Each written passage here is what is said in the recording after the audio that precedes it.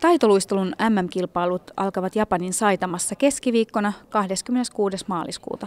Suomea kilpailussa edustavat naisissa Julia Turkkila ja jäätanssissa Henna Lindholm ja Ossi Kanervo. Julia Turkkila, paras MM-sijoituksesi on kahden vuoden takaa 18, mutta minkälaisin tavoitteen lähdet tänä vuonna kilpailuun?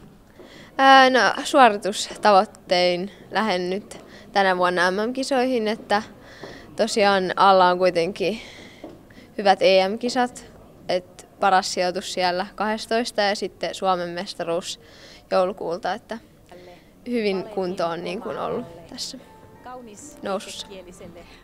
Minkälaista sijoitusta lähdet kisasta hakemaan? Öö, no, siihen vapaa-ohjelmaan on niin kuin tavo- tavoitteet, että sit lyhytohjelmassa sijoittuisi sinne 24 parhaan joukkoon. Niin, tuo lyhyt ohjelma täytyy onnistua nappiin ja se sinulla onkin vahva. Mitkä on juuri näitä omia vahvuuksiasi luistelijana? Öö, varmasti siinä lyhytohjelmassa on apua siitä kolmois-kolmois-yhdistelmästä ja öö, soolohyppynäkin on se ritti, niin niistä kertyy onnistuessa ihan hyvät pisteet. Ja sitten on piroetit nelostasoon rakennettu ja laadukkaat sellaiset, että pitäisi niistäkin kertyä hyvät pisteet. Minkälainen harjoitusjakso sinulla on tässä alla ennen MM-kisoihin lähdettäessä? Öö, pari viikkoa sitten sattui sellainen nilkkaan sellainen vääntövamma ja se nyt on tässä häirinnyt ehkä valmistautumista siinä jää, jää, niin kuin jää harjoittelussa, mutta sitten on tehnyt kaiken mahdollisen, mahdollisen, että on taidot pysynyt siinä kunnossa, että kisoihin pystyy lähteä niin mentaalipuolella ja sellaisella. Minkälaisissa elementeissä tuo vamma sitten erityisesti häiritsee? No se on vasemman jalan nilkka, niin se ei onneksi alastuloon vaikuta, mutta just sellaisiin liikkeisiin, mistä tulee niin kuin kova sellainen paine ja puristus ja sellainen, sellainen niin kuin äkillinen liike. Nämä ovat sinun neljännet MM-kilpailut, vaikka ikää vasta 19 vuotta. Minkälaisissa asioissa kokemus tuolla kilpailutilanteessa sitten näkyy? Varmasti niin kuin tässäkin tilanteessa auttaa se, että, että on ollut moni lähtökohtia lähteä kisaan ja sellaisia tilanteita on joutunut kohtaan erilaisia. Nyt pystyy lähteä ihan sillä luottavaisin mielin, vaikka tällainenkin vamma on nyt tässä ollut, että tietää, että mitä siellä kisoissa tulee vastaan.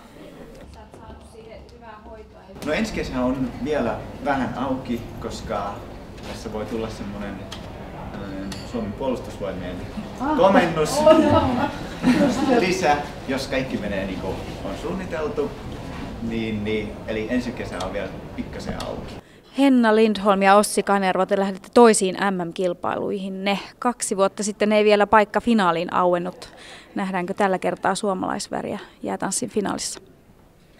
No toivottavasti nähdään, että totta kai lähdetään tekemään sitä omaa parasta sinne niin ja ei sitten ohjelman aikana mietitä tätä sijoitusta, mutta oishan se mahtavaa olla finaalissa.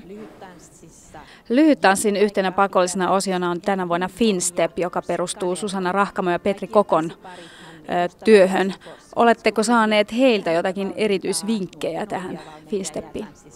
Kyllä, he ovat käyneet ja eri toten Susanna on käynyt avustamassa ja antamassa vinkkejä ja tämmöiseen ilmaisuun ja koreografiaan ja tähän puoleen siinä tanssissa on. Minkälainen tanssi Finstep on? Se on nopea ja pitäisi olla kepeää ja kyllä se on aika kauniskin katsottava, että mielenkiintoinen. Finsteppi täytyy osua nappiin, jotta se paikka tosiaan sinne finaaliin aukeaa, eikö näin? Kyllä. Italialainen entinen maailmanmestari itsekin Maurizio Margagli on valmentanut teitä nyt kolme vuotta. Minkälainen yhteistyö Margaglion kanssa on? Tosi hyvä. Me ollaan todella tyytyväisiä tähän yhteistyöhön, että toivotaan, että se jatkuu vielä pitkään ja näin. Minkälaisiin asioihin Margaglio kiinnittää harjoituksissa huomiota? Hän on hyvä rakentaa sen kokonaisuuden, että mitä tehdään milloinkin ja kuinka, kuinka valmistaututaan kisoihin ja että osaa löytää ne oikeat, oikeat keinot, että ollaan parhaassa mahdollisessa kunnossa kilpailuissa. Harjoitusviikkoon ne sisältyy 20 tuntia treeniä, mutta mitä muuta arkeen kuuluu? Koulu ja työ. Mi- mitä koulua käyt? No mä opiskelen nyt kosmetologiksi. Entä Ossi? No mulla on työ siinä lisänä sitten. Että... Kuinka vaikeana pidätte huippuurheilun ja työn ja opintojen yhteensovittamisen? Ja teitä on vielä kaksi, joiden aikataulut täytyy saada yhteen. Tietysti se on pientä taiteilua ja vähän joustamista joka puolelta, ja, mutta me ollaan aika hyvin saatu rakennettu se paketti. Ja kai se on se, että kun jotain lajia rakastaa ja haluaa tehdä sitä täydestä sydämestä, niin sieltä se aika ja tahto löytyy, että saa ne kaikki järjestettyä.